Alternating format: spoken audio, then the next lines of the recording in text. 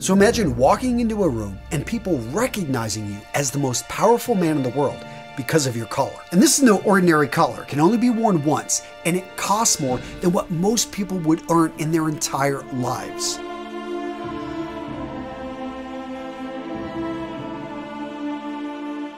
Today's video I'm going to break into three parts. First up, the military origins of the collar. Where does it come from? Next, we're going to talk about what exactly are collars and all the different types out there. And finally, in part three, we talk about famous men and their collar styles. And I'm going to go way back. Yes, we talk about that incredibly powerful guy that had that super expensive collar, but we're also going to talk about people like Shakespeare. We're going to look at some modern style icons and some fashion trends that I bet you didn't know where they came from. So the collar has its origins back in the high Middle Ages. What we saw were advances in armor, and men were now wearing helmets. They were wearing chainmail to protect themselves.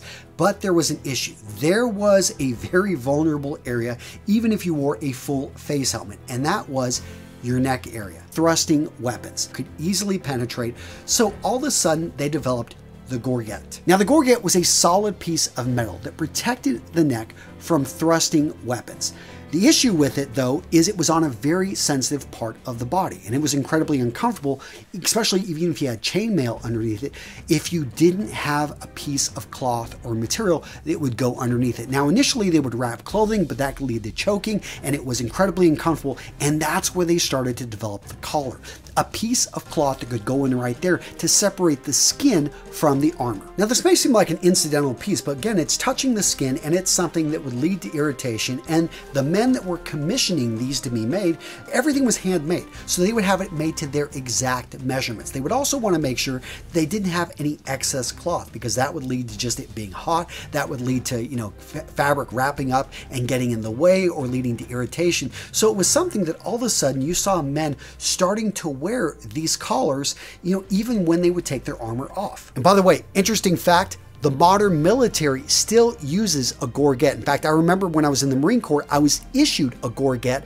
before going into combat. I want to thank today's sponsor, Slick Collar, for helping make this video possible. Seriously, what a great sponsor for this particular video, right? Now guys, I've been working with Slick Collar for years because I love what these guys do. You know that sloppy looking collar that falls under the jacket that looks like it has no life, that's flipping and falling all over the place? Slick Collar solves that problem. They bring structure, they bring the perfect collar look with any shirt collar you got. I'm talking polo shirts, if you've just got a dress shirt that's falling all over the place, especially if you don't want to wear a necktie with it, you want to wear an open collar that looks just looks great, you need to have slick collar. Guys, what I love about this product is you don't have to go out and buy a whole bunch of new expensive shirts. So many guys think, okay, my collar, it doesn't look good, it doesn't stand up. The collar is just, yeah, it doesn't have any structure. I need to go buy a new shirt. No, with Slick Collar, you take your existing shirts and you make them look great. And as you can also see, they now have a white silicone sleeve grip that's more in line with what you guys asked for. That's what I love about Slick Collar.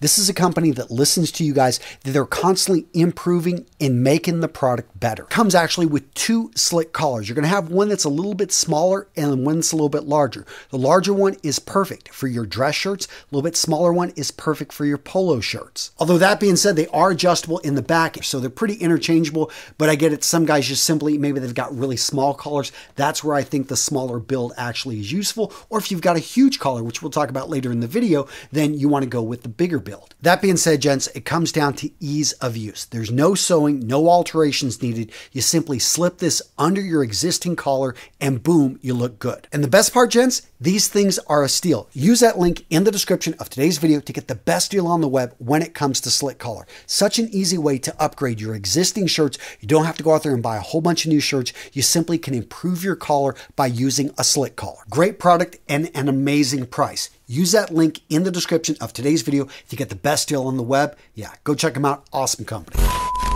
Now, in the 16th century, we saw an interesting thing happen in the Spanish and the English courts, and that was all of a sudden people started paying attention to these collars and having fun with them, both men and women. It started to become a status symbol, something that, hey, let's make it a little bit more flamboyant, let's add some ruffles, let's add some lace, and next thing you know, these things started getting bigger and larger and drawing more attention. What people really liked about this is it did a great job of framing the face. Most of the clothing at the time was very dark for practical purposes, but here around the face, you could have a light color, which basically would reflect the light, would shine, and draw attention to the face. Now, for over 100 years, flamboyant colors were the thing. I mean, just look at pictures back from that time period. Again, whether it was men, women, you had Shakespeare even jumping in on this thing.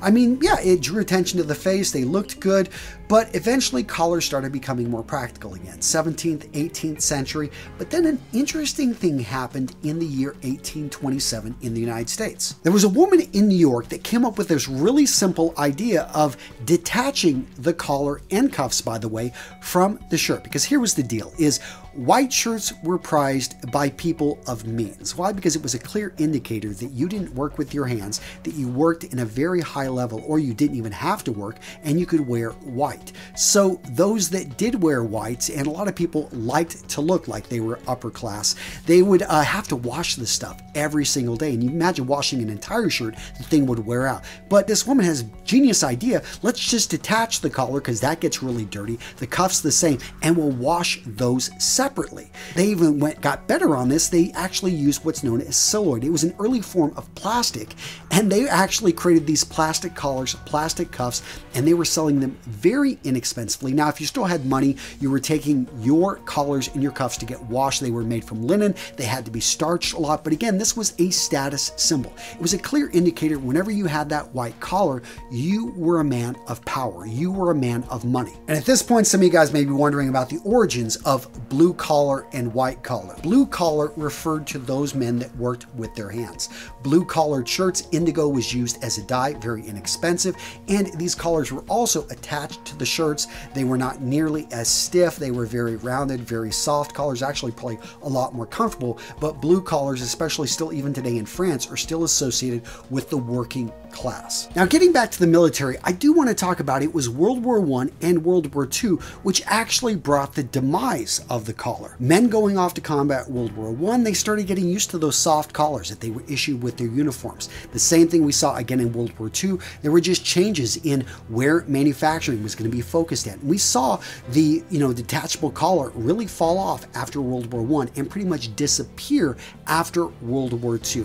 All of a sudden, collars started becoming softer. There was a wider variety, and many men actually were deciding, hey, to start ditching the collar and going with t-shirts. So we covered the military history. We talked a little bit about status. Now let's talk about exactly what collars are. I mean, I've been using this word, but how do we define a collar? Well, when pertaining to clothing, the collar is a part of a shirt, coat could be part of a dress or blouse that fastens around and frames the neck. Another key part of a collar is it's made from a separate piece of fabric. So we do not have a continuous piece of fabric from the shirt into the collar. They can be made from the same exact material, but they are separate pieces of fabric. Why this point's important is when it comes to construction, the collar is oftentimes one of the most expensive parts of a shirt.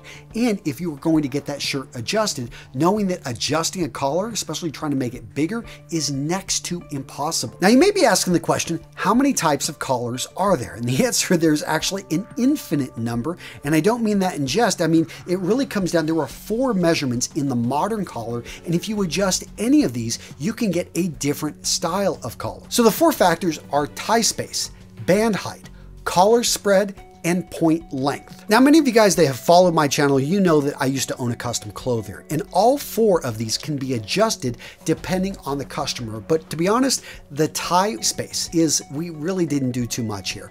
If somebody came in and asked for it, I would widen it a bit. This is usually for a man with a larger neck. If he's going to be wearing a large necktie knot, then giving him a little bit more room though. It gives us the ability to adjust the collar, but really this was something that we didn't touch. Now the collar height, the band height, this was something on a man that had a very long neck or a very short neck that on occasion we would actually heighten it or make it a bit shorter. Now the collar spread and the point length, these are very important because simply changing this right here, you can go from a point collar to a spread collar to a widespread collar to if you want to adjust that end at the point, all of a sudden you've got curved, you've got club collars. This is where we get all the different styles, but I do recommend it. Just starting your collection, go with the classic point or with a medium spread. You don't need to go with a widespread. A medium spread, in my opinion, is one of the most versatile styles out there when it comes to shirt collars. So that leads us to the various type of modern shirt collars out there. Well, first up, let's talk about the classic point collar.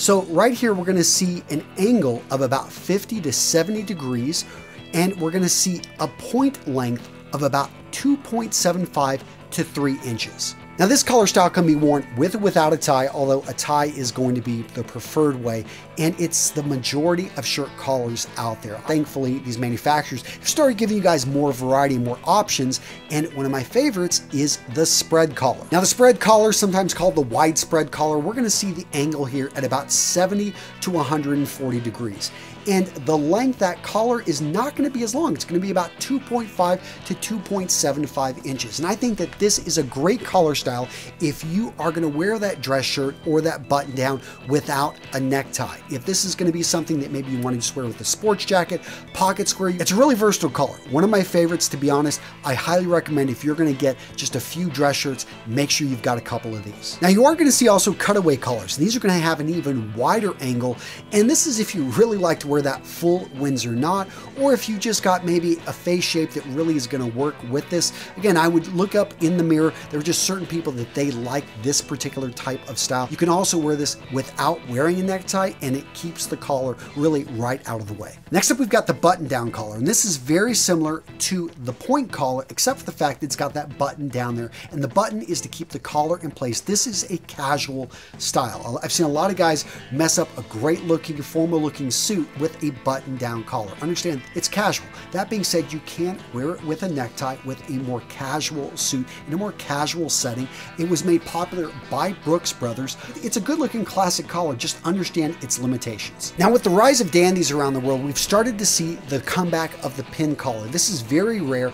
I made a few when I had a clothier upon special request, but it is something that, yeah, it's you got to have the special hardware for it. It's made to actually be held in point. This is going to be just one of, the, I would say, eclectic collar. This is a collar that uh, I do like to see on a man that understands what he's doing and it really can set you apart from the crowd. But again, you've got to have a collar pin to keep it in place. Now, occasionally you will see a tab collar, and this is similar to the pin collar, except it doesn't need a pin, but it does have a button underneath there that's hidden that keeps it exactly in place. It's a very button down look, a little bit more formal. Less you wear a suit and tie every day, then go for it. Now, the most formal modern collar style is actually one of the simplest, and that is the wing collar. You notice right here, this is going to be a very rigid collar. It has been around for a long time, and you wear this with a bow tie. Black tie, white tie, depending on how you're dressing that night. This is for formal or semi-formal wear only. This isn't something you would just wear to a suit or to an interview. It's a very particular type of collar. You're going to have to look around for it. Now, you're also going to see some other styles of collars out there. These are a little bit more informal, a little bit fun. Club collars, they actually get their name. They were popular in clubs, people that were part of organizations. They were actually, I think, first originated from schools. You're also going to see the band collar, which appears to have no collar, but it does have the band. And the band is officially a collar. This is something that was made popular in a lot of uniforms uh, but you've also seen a lot of people associate this maybe with, uh, I think, similar to the Nehru collar or the mandarin collar. So at the beginning of this video, I mentioned a very powerful man who would wear a collar that basically would send shivers through anyone that was in the room with him, and that was Philip III of Spain. So this is the height of the Spanish Empire. This guy was arguably the most powerful man in the world. The guy did have some fashion sense, or at least he understood the power of the ruffle. Now you may say this and say, oh, what's the big deal about ruffles? But understand that the, I mean, the material made was actually a lot better than the material we're even using today. And it was so expensive. The design and the build of those ruffles, it could only be worn once before the heat of the body would actually cause it to, to break up and not be used. So they would build these for wear of one time. And they were more expensive than what the vast majority of people in his country even earned in their lifetimes. But, you know, he didn't care. You know, he's like, he's a monarch there, end of the medieval ages. This guy was just, yeah, he was at the top of the world. And it was something that everybody started jumping in on this. I mean, these things were huge for almost a hundred years. Yeah, people were wearing these ridiculous ruffles, not only in the collar, but also on the cuff. And don't be fooled, it wasn't only monarchs. You got, you know, Miguel de Cervantes, Shakespeare, Oliver Cromwell, Benjamin Franklin, even Abraham Lincoln was a fan of a good looking collar. Now you may be thinking, oh, that's something old school history. No one cares about collars anymore. If you ever watched the movie Bullitt, look at Steve McQueen. Okay, so this isn't the normal collar you think about, but the turtleneck right there, that is an iconic look. I mean, I, he just makes the turtleneck sweater in general. Uh, some mariners made it pop. This was something I think when worn, a guy can really send a message. I know a lot of people think it doesn't work for them. Give it a shot right here. This is a, if it may, if it looks good on you, you will just get so many compliments.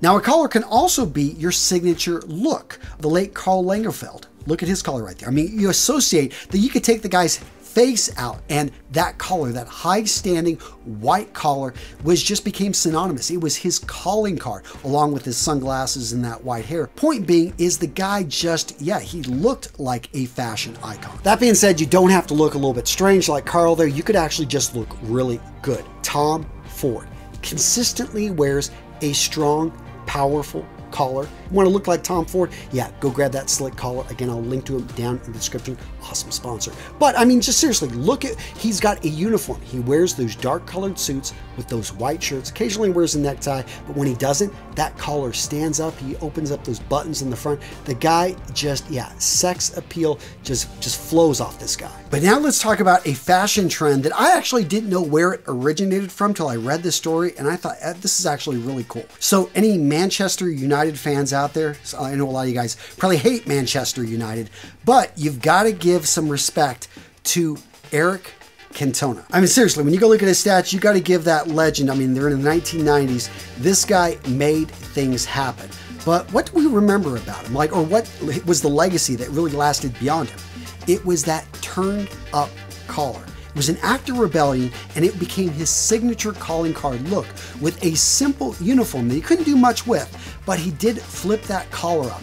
And there were so many young men. I mean, let me know down in the comments if you were a guy that occasionally you would flip that collar up just because you made it made you feel cool. There was something about it. I mean, we joke about it. I've seen, you know, that meme out there with all of those like like a hundred flip collars on a kid.